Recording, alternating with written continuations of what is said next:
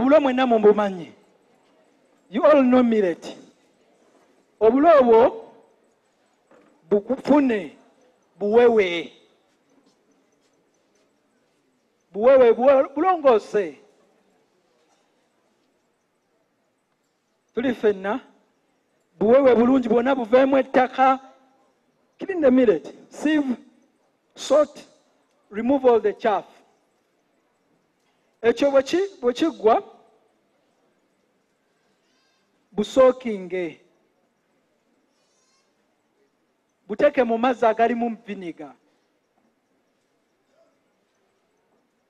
soak the millet in the water with vinegar. Vinegar ekola nga ki? Preservative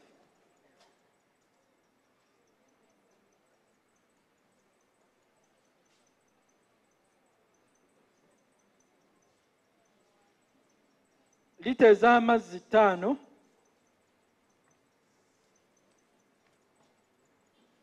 teekamu mirusi kikumi ezaki eza vinika byebijiiko kumi. Byebijiiko bimeka? Kumi.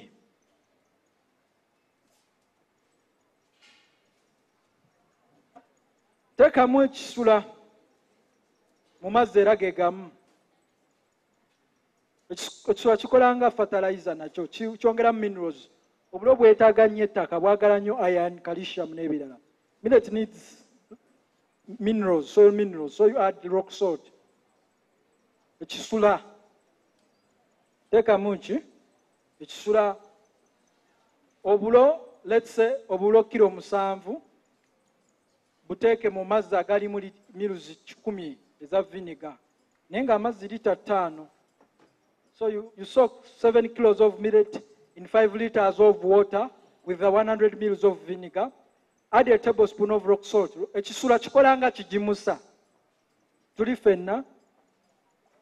Eki- Ekisula kikola nga kigimusa.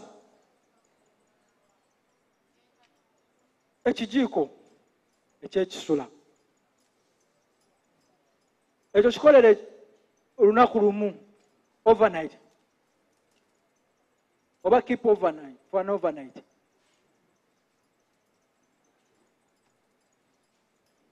Kikolere eki- ekiro kimu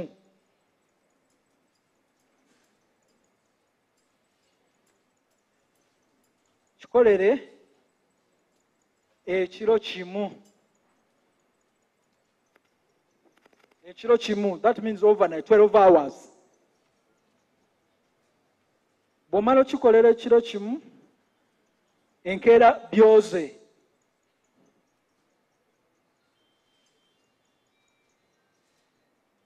the next day rinse the millet.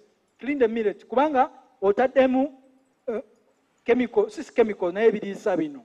Kati olina obyozaako olina obikola ki? Obyozaako paka amazzi bwe gakola ki? Kubanga obulo buba bukyafu bw'otabwoza ne butukula buvunda. Bw'otabwoza ne bu eh, baana kajuisi kano kaneeweemu nange. Aisha weebale. Ate mukyabanja juisi bba yeeyo. Binakamudde byonna ku makya siri mukodo mweyagale. Ewe mweyagale munyweko omumiro guweweere enjoy the juice.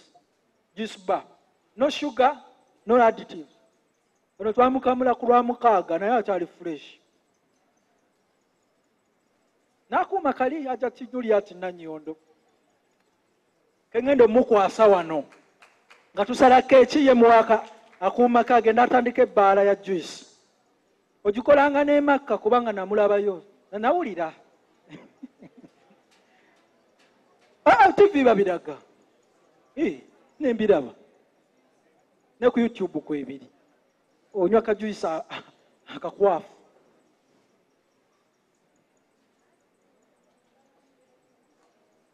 okay tuli ffenna ku ekyo. Obulo omaze okwoza lyonna ettaka likoze ki? Liweddemu funa baketi erabika. Eriki etangaala. Erimu ekitangaala. Eyisa ekitangaala. Obuteekemu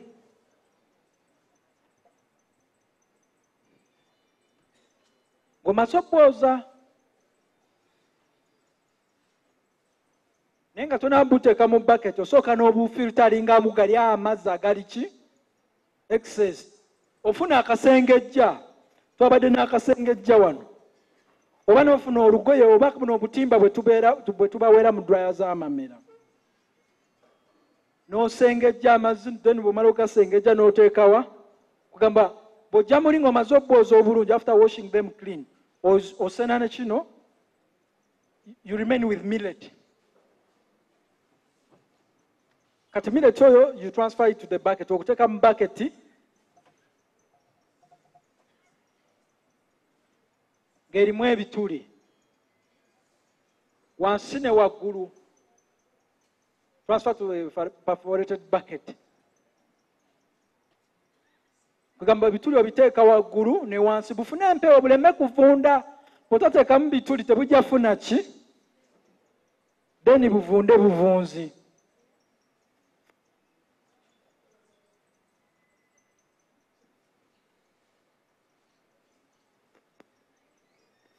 Oteeka mu baketi erimu ki? Ebituli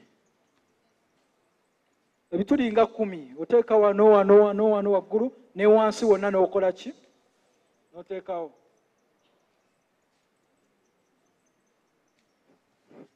Obukuume okumala ennaku mmeka? Ssatu.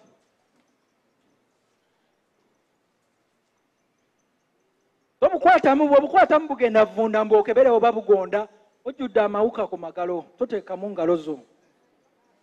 Okugjako nga omaze okugira ne preservative so don't try or they are attract them to test whether they are moist.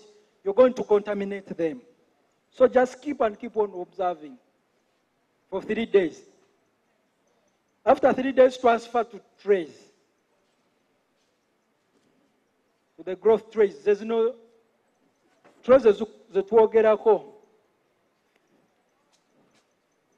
zino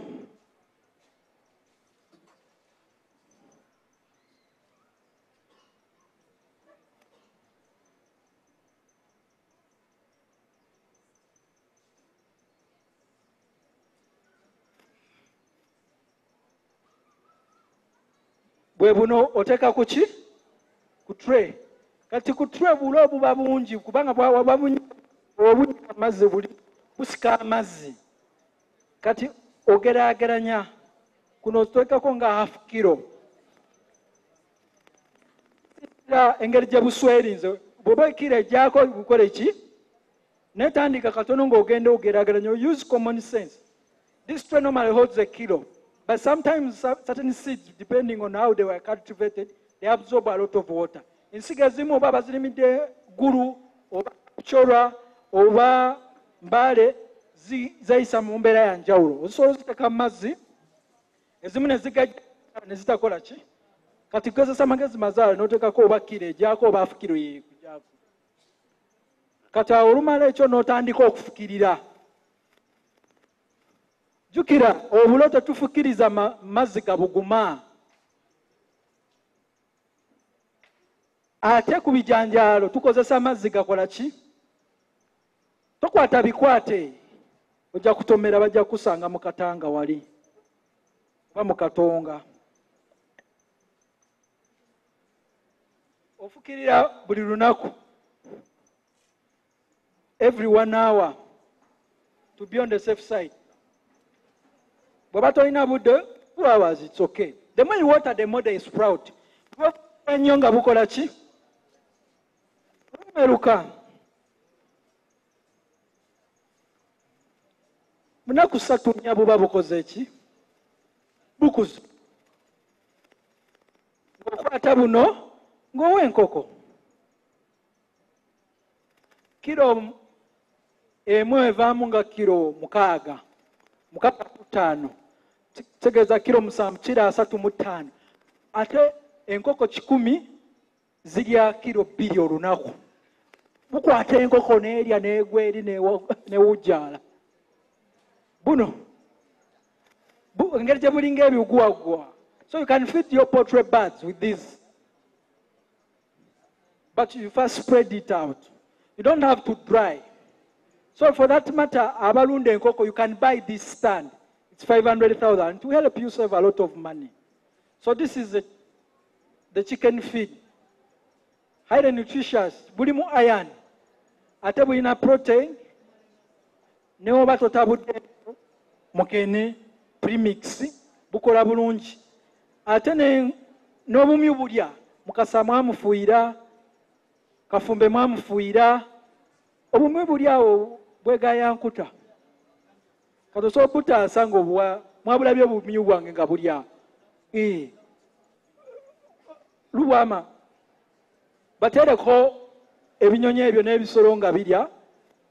Tugende ku matooke